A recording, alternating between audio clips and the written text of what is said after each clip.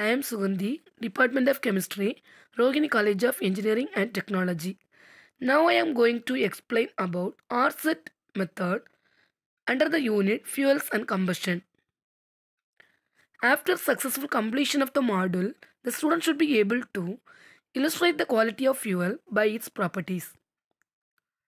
Flue gas analysis.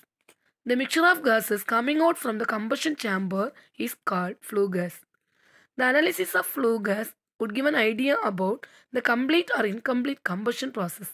The analysis of flue gas is carried out by using Orsat apparatus. It consists of a horizontal tube. At one end of this tu- U-tube containing fused calcium chloride is connected through three-way stopcock. The other end of the tube is connected with a graduated burette. The burette is surrounded by a water jacket to keep the temperature of the gas constant. The lower of the burette is connected to a water reservoir by means of a rubber tube. The level of water in the burette can be raised or lowered by raising or lowering the reservoir. The horizontal tube is also connected with the three different absorption bulbs 1, 2 and 3 for absorbing CO2, O2 and CO. Bulb 1 it con- contains KOH and it absorbs CO2 only. Second bulb it contains alkaline pyrogallol and it absorbs CO2 and O2. Third bulb it contains ammoniacal cuprous chloride and it absorbs CO2, O2 and CO. This is the picture of Orsat apparatus. Working.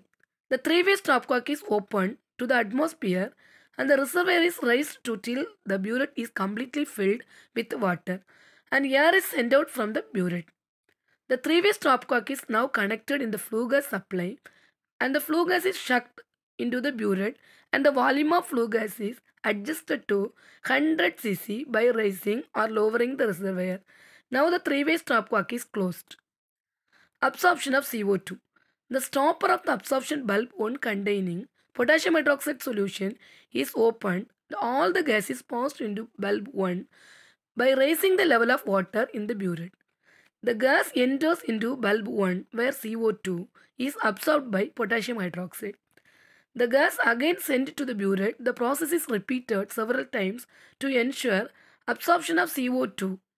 The decrease in volume of flue gas in the burette indicates the volume of CO2 in 100 cc of the flue gas. Absorption of O2. The stopper of the absorption bulb 2 containing alkaline pyrogallol solution is opened and all the gas is passed into bulb 2 by raising the level of water in the burette. The gas enters bulb 2 where O2 is absorbed by alkaline pyrogallol. The gas is again sent to the burette. The process is repeated several times to ensure absorption of O2.